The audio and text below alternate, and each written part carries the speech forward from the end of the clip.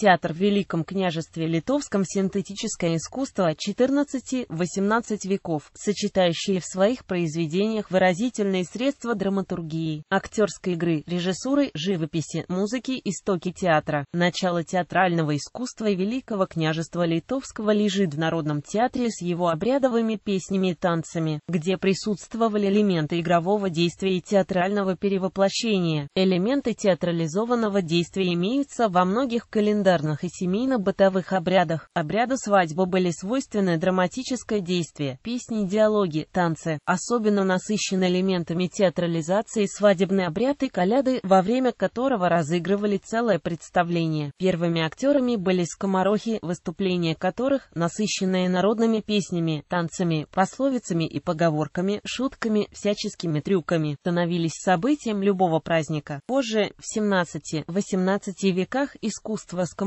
преобразовалось в балаганы, искусство кукольных театров, вертепы. На фресках Софийского собора в Киеве есть изображение скоморохов. Иногда скоморохи ходили с медведями. Известны школы дрессировки медведей в окрестностях Гродно, Несвежа, Минска, в Ракове, на Полесье. И наиболее крупная из них Сморгонская медвежья академия, существовавшая в 17-18 веках. В Семежеве близко Пыля существовала школа веревочных прыгунов. Театральное народное искусство отличалось свободной импровизацией, легкостью перехода от серьезного к смешному. Это явилось основой искусства бродячих актеров. Со временем в их представлениях появились сюжетные драматические и комические сценки, интермедии, затем народная драма. Батлейка, народный кукольный театр Батлейка появился в XVI веке. Театр этого типа имел в разных местах княжества названия Яселка, Батляемка, Остлейка, Жлоб, Вертеп. Украинский вертеп известен с XVII века, польский театр с подвижными фигурками, шопка с XV века. Для показов батлейки из дерева делали коробки разных размеров, обычно в виде домика или церкви с горизонтальными перегородками. Каждая сцена ярус имела прорези для вождения кукол. Сцена отделывалась тканью, бумагой, геометрическими фигурами из тоненьких палочек напоминала балкон, на котором происходило действие. На заднике сцен рисовались иконы, звезды, кресты, окна, кукольные композиции на библейские сюжеты ПР, коробки, похожие на церковь, делалась куполоподобная крыша с крестом, коробка закрывалась дверцами. Необходимость в многоярусном строении коробок отпала тогда, когда показы батлейки приобрели светский характер. Куклы-персонажи делались из дерева, цветной бумаги, ткани, волосы, брови, усы из льна или овчины. Куклы крепились на деревянный или металлический стержень, при помощи которого батлеечник водил их по прорезям в ярусе сцене. Известна также батлейка с куклами-марионетками на нитях с верхним принципом вождения, перчаточные куклы. Показы сопровождались музыкой, сцены и куклы освещались свечами. Батлеечник находился за коробкой, оттуда водил куклы, говорил текст, подделывая голос персонажа. Часто он был не только единственным исполнителем, но и драматургом, художником, режиссером, музыкантом, иной раз своеобразным конферансье. Некоторые батлейки были устроены по принципу теневого театра и сменяющимися прозрачными декорациями. Сначала представления были связаны с праздником Коляды, когда школяры ходили с батлейкой по местечкам и деревням. Позже сцены, связанные с колядами, постепенно прекратились. Репертуар батлейки со временем пополнился фольклорно-бытовым материалом, необычными сюжетами, количеством персонажей. Складывался репертуар обычно из двух частей, канонической и светской. Канонический сюжет разыгрывался на верхнем, светский на нижнем ярусе сцене. Наибольшей популярностью пользовался светский репертуар с комическими сценами, народными песнями и танцами. В репертуаре батлейки наряду с народными драмами «Царь Ирод» и «Царь Максимилиан» появились интермедии «Мать и доктор», Антон с козой Антониха, Вольский, купец польский, Берга, Корчмарь, цыган и цыганка, Ванька Малый, Панич и другие. Многие сцены имели остросатирический характер. В них высмеивались такие социальные типы, как доктор Шарлатан, Франц Шляхтич, Корчмарь, профессиональные театры. В 1740-1791 годах в Несвиже действовал крепостной театр князей Радзивилла. В 1746 года театр управлялся княгиней Франциской Урсулой Радзивилла и действовал как любительский. В спектаклях наряду с крепостными участвовали члены княжеской семьи, шляхта, кадеты Несвижского корпуса, наемные актеры. Представления в сопровождении Несвижской капеллы Радзивиллов проходили в замке замке Комедиенхаус, предместье Несвижа Альбе под открытым небом в Зеленом театре и в несохранившемся до наших дней дворце Консоляция. Спектакли ставились на польском, итальянском, немецком и французском языках. В репертуаре театра были произведения, написанные самой Франциской Радзивилл, комедии «Остроумная любовь», «Утешение в хлопотах», «Золото в огне», «Культ в очах», «Рождается любовь», «Негодяй в силках» и «Судья, лишенный разума», «Любовь, великолепная мастерица», драмы, плод божественного провидения и «Любовь, заинтересованный судья», трагедии, судья, лишенный рассудка и «Игра фортуны» оперы «Слепая любовь». Он не думает о конце, культ счастливое несчастье, переведенные и переделанные ей пьесы. Мольера, смешные жеманницы под названием «Увиденное не проходит» и «Лекарь по неволе», а также балеты пантомимы. С 1746 года режиссером театра Радзивиллов был Я.П. Фричинский, балетмейстером Шрютер Л. Матье, капельмейстерами были Ян Тентилович и Е. Баканович. В 1753-1762 князь Михаил Казимир Радзивилл Рыбонько придал театру профессиональный характер, пополнил крепостную труппу актерами, создал театральную и балетную школу и оркестры народных инструментов, роговой и военный. В репертуаре театра были произведения Франциски Радзивилл, комедии Мольера, Вольтера Эсмытильского, В. Ржевузского, итальянские и немецкие комические оперы и балеты. Театр выезжал в Слуцк, Белую, Жолкву, Алыку. В 1755 году работал в здании нового театра. При князе Карле Станиславе Радзивилли Панико Ханку в составе театра были труппа драматических актеров, группа итальянских певцов и балет. В репертуаре были балеты о Путине, оперы Дежи Пейзиэла, Я Голланда, Каглюка и другие. В Несвижском театре Радзивиллов использовались несколько типов декораций. В 1785 году была открыта драматическая школа для крепостных под руководством. Вернера С. Загжевского, а с 1786 года театр работал нерегулярно. Слуцкий театр принадлежал Г.Ф. Радзивиллу, здесь ставились оперы, балеты. Балетная труппа состояла из 80-летних детей слуцких мещан, подготовленных в Слуцкой балетной школе, которые руководили Апутине и Л. Дюпре после смерти Радзивилла в мае 1760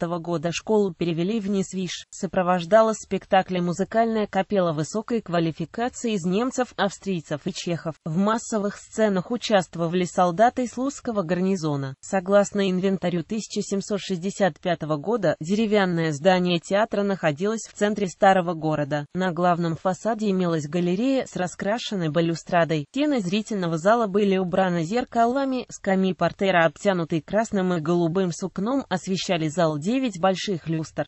Гродненский крестьянский балет и слонимские танцоры в количестве 60 человек стали базой для основания Варшавского придворного балета. В 1787 году в Минске был создан комедийный театр, здесь большую оперно-драматическую труппу организовал М. Кажинский. В Минске работали польские труппы Яхил Миковского, Каскибинского, В. Дроздовского. Спектакли проходили в помещениях зала Ляховского и Дворянского собрания в 1844-1851 годах в здании ратуши. В Гродно в 1780-е годы существовали частное театральное здание Гродненская театральная школа Тизенгауза. В XVIII веке в Слуцке устраивались представления театра марионеток. Значительным центром театральной и музыкальной жизни был театр, созданный в Слониме Михаилом Казимиром Магинским. В его дворце существовал концертный зал, который не уступал знаменитому Мангеймскому. Кроме того, действовал плавательный театр, перемещавшийся по каналу и реке Шаре. В 1780 году было построено специальное помещение для театра. При нем существовала школа, тут работали инструментальный оркестр, оперный ансамбль. Михаил Казимир Агинский сам был одаренным человеком, написал несколько опер на собственные либретто. Слонимский театр выезжал на гастроли в Варшаву, имел несколько труп, в том числе балет и драматический коллектив. Слонимский оркестр был одним из самых больших в Европе того времени. Театр имел грандиозные декорации, созданные художниками же Мараной, Штробелем и Рейлером Катассельским, а также театральным машинистом Яном Боем. Шкловский театр графа Семена Зарича состоял из крепостных певцов, танцовщиков, драматических актеров и музыкантов. Представления проходили в специальном театральном здании и в залах при оранжерии. Сцена была приспособлена для перемены 70 декораций. В репертуаре аллегорические балеты с характером драме, мифологические пантомимы, комедии и трагедии, комические оперы. С 1781 года хормейстером был П. Петух. В 1781-1783 годах здесь работал режиссер и композитор Т.А.Г.Д. Салмаран. Высоким мастерством отличались крепостные артисты балета, обученные в специальной школе. Группа солистов в 1800 году была передана в балетную труппу петербургских императорских театров. В усадьбах магнатов Тышкевичей, Свислачей и Плещеницах существовали любительские театральные труппы, но выступали приезжие профессиональные актеры, театры имели хорошее техническое оборудование, несколько комплектов декораций. В своем имении в Ружанах Казимир Лев Сапега создал капеллу, насчитывавшую 40 музыкантов при бубнах и трубах, среди которых были не только исполнители из Италии и Польши, но и местные крепостные, некоторых из них Сапега отправлял учиться в Италию. После его смерти все музыканты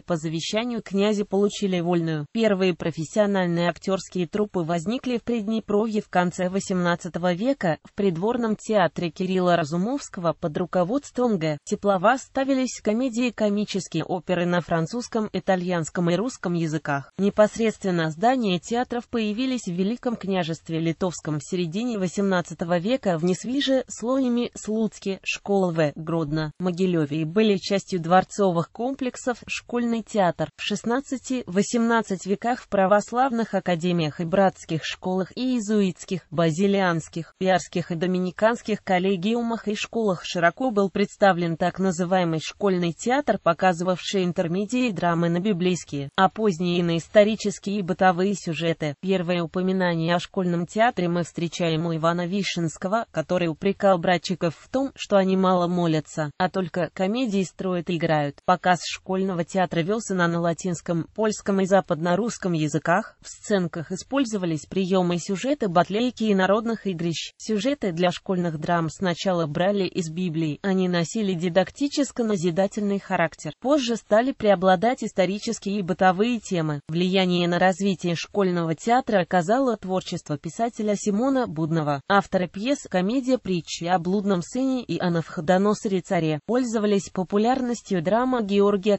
Каниского «Воскресение мертвых» и комедия Камарашевского. Известны постановки «Святой Ксаверии» и Антоний Подевский в 1750 году в Бресте, где были использованы объемные декорации, в том числе башни, подвижные объемные фигуры рыб, раскрашенные музы, которые поднимались на шнурах. Актерами были ученики, которых обучали сценическому искусству учителя риторики. Школьный театр имел свою разработанную поэтику с канонизированными средствами сценического движения, манерой исполнения, гримом и оформлением сценической площадки. Сцена освещалась рампой, имела рисованной задникой объемные декорации в виде поворотных призм для сценических эффектов. Особенно часто спектакли проходили в учебных заведениях иезуитов, где школьному театру придавали особое значение как методу воспитания. Практически со времени открытия Полоцкого иезуитского коллегиума при нем действовал школьный театр, который широко использовался иезуитами для миссионерской и просветительской деятельности. В репертуаре Полоцкого школьного театра были пьесы на французском, итальянском и латинском языках. В иезуитских коллегиумах и академиях, братских школах в Вильне, Минске, Могилеве, Гродно, Витебске, Несвиже и Бресте также стали давать представления. Популярны спектакли были и в протестантских школах, где школьная драма рассматривалась как элемент образовательной системы. Спектакли чаще всего ставились в церковные праздники Рождества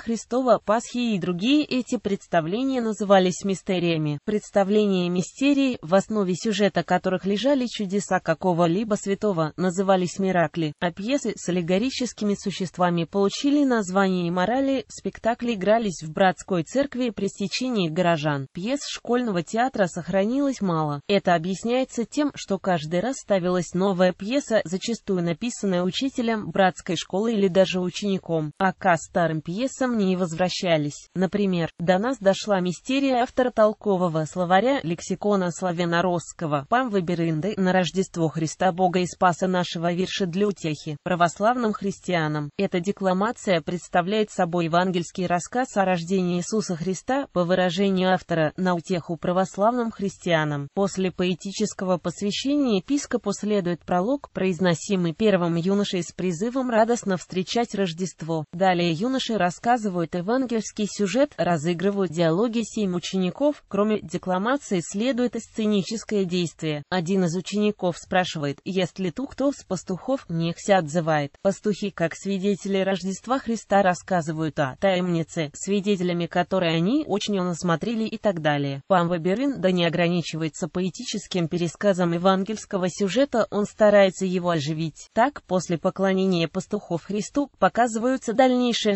жизнь пастухов, возвращающихся к своим стадам, и их радость передается всему живому. Пастухи слагают и поют хвалебные радостные песни, и все вокруг радуются вместе с ними, заканчивается мистерия эпилогом, тоже в стихах.